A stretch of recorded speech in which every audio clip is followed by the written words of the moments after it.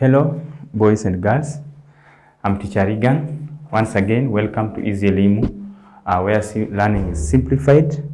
And in our today's session, still under factors, we are going to discuss greatest common divisor, normally abbreviated as GCD. Greatest common divisor. Uh, this is a concept that you did in grade 4, grade 5. Yeah, you discussed GCD in grade 5. Uh, and therefore, it's not something that is new. We are just going to maybe expound a little bit on the same and discuss some of the applications of the same concept. So, under introduction, under introduction, we are going to say that GCD, GCD is also is also referred to as the highest highest common factor abbreviated by as HCF. So if you see a question in exam asking you to get the HCF of the following numbers, then that is the same as GCD. Let us look at an example very fast. An example. You can be asked to calculate or rather find find the HCF of the following of the following numbers. Of the following numbers and you have the numbers as say uh, 4 uh, 7 we can have the number as 4 12 and 36 solution. So looking at our numbers, you will agree or concur with me that the three numbers are composite numbers. They have more than one fact, two factors. Sorry, they have more than two factors. So the first step, what we are going to do is to highlight all the possible factors of each and every number here. Then from there, we pick the highest common factors. Common in the sense that that is a, it's a factor of the first digit. It's also a factor in the second digit and a factor in the third number, and it is the highest. So here, list all the possible, that is our method one. We can call this method one. All the possible factors of each number, of each number, i.e., so we have four, all the possible factors of four, we have one, two, and 4. All the possible factors of 12, we have 1, 2, 3, 4, 6, and 12 itself. All the possible factors of 36, we have 1, 2, 3, we have 4, we have 6, we have 9, we have 12 we have um, 18 and 36 itself so in the second stage you write pick out the common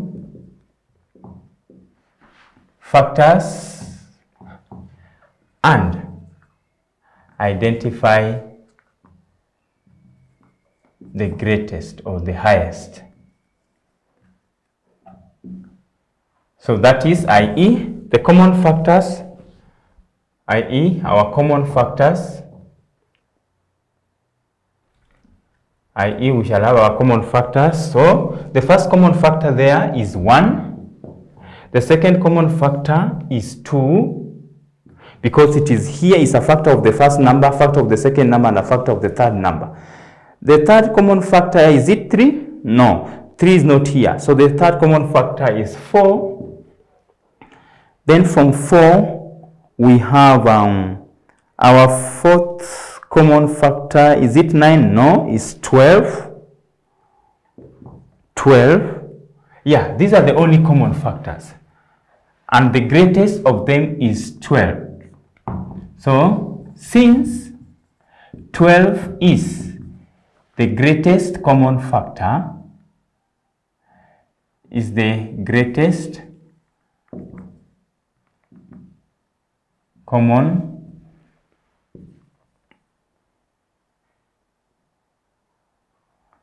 factor. It is the HCF of 4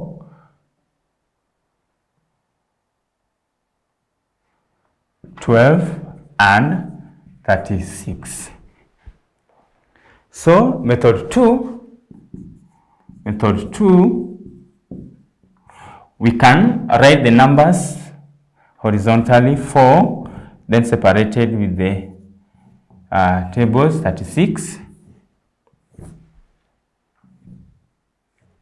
then we identify the first prime number that can that is a common factor to all of them and that is 2 so 2 into 4 2 times 2 into 6 12 rather 6 times 2 into 36 18 times so the next prime factor that can divide all the three numbers is still 2 so 2 not really. There's something wrong we have done here. 12 is not common. Eh? 12 is not common in all the three numbers. Kindly note that 12 is called not common. So we only have the three common factors. 1, 2, and 4. Then you say since 4 is the greatest common factor of common factor it is it is the HCF of 4 12 and 36 kindly take note of that. So in method 2, I said you identify the first prime factor that the least prime, the first least prime factor that can divide all the three numbers and that is 2 2 into 4 2 times into 12 6 times into 36 18 times. Again the next prime number that we have that can go into the three of them is 2 2 into 2 1 into 6 3 here 9 so at this point the only factor that can go into 1 3 and 9 is 1 and that will not make any difference yeah? If you write 1 here, it will still maintain 3, 9. Therefore, therefore, our GCD is equal to 2 times 2 times 1, which is 4. So having looked at that example, maybe I can give you some few uh, questions. It's simple. This is something you did in your previous classes. So this is, at this point, it's basically repetition. We are basically repeating what you did in your previous classes.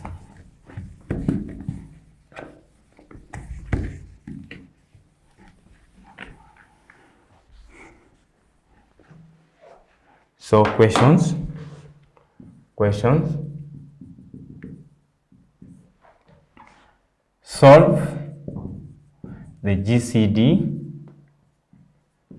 of the following